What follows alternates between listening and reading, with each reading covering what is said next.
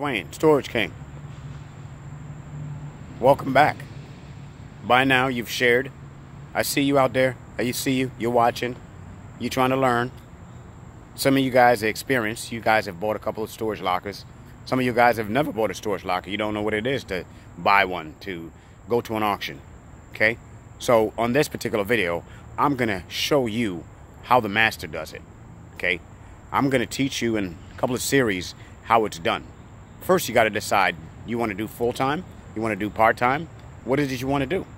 What is it you want to earn out of this business? Okay? You can do part-time and you can still make a great amount of money. But one of the things that you really have to con concentrate on is when you buy these storage units, you have to have the time to clean them out, okay? Because you have a certain amount of time where they have to be cleaned out. If not, you're in big quotas with the facility. And they might not ask you to ever come back again. Why? Because you didn't abide by the agreement that was made when they told you uh, to bid. You didn't listen. You weren't organized and that's one of the things in this business that you have to learn, okay? You got you can't be a pack rat. If you want to be a pack rat, stop right now. Just exit my video. Don't even listen to anything that I have to say, okay? Because you, you're not going to do great at it. One of the things that you constantly have to do over and over and over again is you have to check the items that you have and see whether or not they're sellable items. And ask yourself, hey, listen, how long have I had this thing? Get rid of it, dump it, throw it away, give it to a friend, put it on Letgo let somebody come get it for free. Because guess what? It's taking up valuable space in your unit that you could use for something that's going to help you make money. And this is the whole key about this business. You want to constantly churn, churn, churn, churn. You want to constantly make money. This is the key. You want to keep fresh items in your inventory all the time. Never stop keeping fresh items in your inventory all the time. Because guess what happens? You store all this stuff in a storage unit or wherever you're going to store it in your house. It starts accumulating. You have no space and you can't buy anything else. So it stops you, stops you from going to the auction and you just become a deadbeat. Okay? So, one of the number one things that you have to do as a storage queen or king, if you're a newbie, and that's what they call somebody who is brand new to the business, you have to figure out what you want out of it. Whether or not you want to do part-time, full-time, and how much time you're going to put into this business. Because this is a great business that you can make great money no matter how many hours you put into it. But you have to be dedicated in order to be successful at it. Okay? So, you with me? You, you, you, you ready to ride? Okay? All right. You ready to get your feet wet? Are you ready to get your feet wet? Okay, that's what you have to ask yourself. So one of the things that you have to do is you have to have transportation. What are you going to store this, this, this thing in? Are you going to use a U-Haul truck all the time that's going to dig into your profits? Do you have a van? Do you have an SUV? You have a trailer? What is it you're going to use to move these items around? And where are you going to store it? And how big of a space that you do, do you possibly need? When I started, I started not knowing anything. Nobody taught me the business. I didn't know anything about what I was getting into. Okay? I just went. I showed up and I just tried to figure it out on my own. And I figured it out pretty well. And nobody really told me anything. I figured out how to get rid of books, how to get rid of jewelry, what not to sell, all these things that you have to learn in time. Okay? But guess what I'm going to do? I'm going to teach it to you for free. Damn near free. Okay? I'm going to give you, give you a couple of series that will teach you this business and make you a master. I'm going to make you a master. A master at what you do at your craft. And I'm not talking about a lot of money. See, a lot of people have this misinterpretation that you have to have all this money to get into this business. You do not have to have a lot of money. You got a hundred bucks? You have a hundred bucks in your pocket right now. I, I'm asking you if you have a hundred dollars in your pocket right now. No. Okay. All right. Okay. You have 50? You don't have 50. You got 25 bucks? Oh, okay. There you go. You can start this business right now with $25 in your pocket. I always ask people, can you look at somebody and tell how much money they have in their pockets? No, you cannot. So when you go to these auctions, don't get intimidated by anybody that you see. See, these guys have and these ladies have a clique of people that they that they have in the circle. And the first thing that they want to do is they want to run you out of the business. Okay? But you have to stick your foot in and let them know, hey, listen, I'm here to stay and I'm not going anywhere. This is my turf as well as yours. You can't push me around. You can't tell me to do anything. I belong here just like you do. And if you don't recognize that presence and show that presence to other people, you're going to just be one of the other guys. Okay? And that's where I come in. I made them, I made the veterans in this business recognize me and let them know I'm not to be played with. And I learned all kinds of tricks and games and ways to run them up and all kinds of stuff that I'm going to let you into that you have to know. Okay? All right. So let's open this door right here for a second. All right. Let's switch the atmosphere a little bit so I can just, you know, let you take a sneak peek again at another storage locker that I have. This is a pretty big unit right here. Uh, this unit is a um, 20 by 10, I believe. Okay?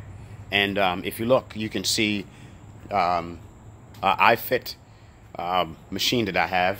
I got some barber chairs, and I think if you watch the other videos, you'll see the barber chairs, um, and they are now dismantled. I'm going to take my time, and I'm going to put them back together. Um, I'm going to upholstery them myself. Okay? There's one right there that's down to the studs, and here's another one right here that's down to its bare bones. And I'm going to reupholster them. They're very, very, very valuable. So I will take the time out and put them back together just the way I want them. Okay? Now, when I touch, I wanted to touch bases with you on taking your time out and putting stuff together. You're not a fix-it man in this business, or you're not a fix-it woman in this business. You are here to make money. So you don't want to spend all kinds of times cleaning stuff up and putting stuff back together. Guess what? That cuts into your time. Everything in this business is based off of time, time management. You have to manage your time wisely. If you don't manage your time wisely, this business is going to eat you alive. And nobody cares about you, about what you have done, and how long you have been here, and whether or not you, you, you, you're coming or going or, or anything. So you have to manage your business wisely, your time wisely. Time management is extremely important in this business. Extremely, extremely important. So, what you learned today? Two things. You don't need that much money. Time management is very important. Oh, and we forgot one thing. Don't be a hoarder. You cannot be a hoarder. If you're a hoarder, you don't belong here. Okay, I see guys even riding around with stuff in their vehicles, loaded up all the time, loaded up. Their vehicle is constantly loaded all the time with items. Why? Why? Get rid of the items. Get rid of the items that you have. You know, make space for new meat. Okay? So, you don't need much money. Don't waste your time on items, cleaning up items. Okay? Um, another thing, do not bring people with you to the auction because they want to get into your business. Okay? And, and, and when I say get into your business, they want to partner up with you. First, you have to stand on your own. You have to be able to stand on your own before you can bring anybody into this business. If you can't stand on your own, how are you going to bring somebody else into the business? How are you going to stand on your own when you don't know yourself what you're doing? Okay? So, a lot of the veterans out there, they still even need to be re-educated on this whole business because they just take money, and I'm talking about huge sums of money. They have money coming from wherever they have the, these money, this money coming from, and they just spend it wild and end up with junk. This is not what you want to be. This is not the type of person that you want to be. You want to be able to come to the door, just like this. You want to be able to look through the locker, everything that you see, and you want to be able to figure out who is this person? Who is this person that I'm getting ready to bid on? What happened to them? What happened to them? That's the key thing that you want to try to figure out. What happened to them? Is this a family? Is it something that the storage facility probably set up? They probably put all their little junk together and, and make me want to bid on it? Because it does happen. Yep, I want to tell you that. It does happen. So you have to be extremely careful, okay? Because you can get duped. Yes, you can get duped, okay? Some of these facilities do it. Okay? I have witnessed it myself by getting duped. But I got lucky because guess what? They weren't smart enough to dig through every single thing. And I found some gold and I found some silver and I still made out okay. Okay? So, that's it for me for now. Okay? You have to figure out what is it you want to do. Watch the rest of my videos. If you haven't seen me uh, or you're seeing me for the first time, check me out. Once again, I ask you, my friends, the ones that's been following me from day one, Share, share, share, share, share. I want myself, I want to I want to grow. And also I want you to grow with me. I want you to become as professional as I am. I want you to be able to have things not just to to spend uh, or money to spend on things, or every single time you turn around, you're you're selling something. I want you all to have something for long term, things that you can look back and you look at and you realize that you, when you retire or you want to take a trip, you can sell these items. This is a business that will give you perpetual cash all the time, all the time. You know, you know, you have to know what you want to do out of this. What is it you want to do? What is it you want to be? Where do you want to be in this business? You have to figure it out. Okay? And through figuring this out, you can you can know exactly where you stand in this business. So when you stand at an auction and you are ready to bid, you know that, hey, listen, I belong here. I know what I want. I know what I'm getting myself into. And one of the things before you even go to a storage unit and before the auction even starts, the number one thing is how much am I going to spend? How much am I going to spend? And you have to keep your budget accordingly. Okay? Peace. I'll talk to you next time.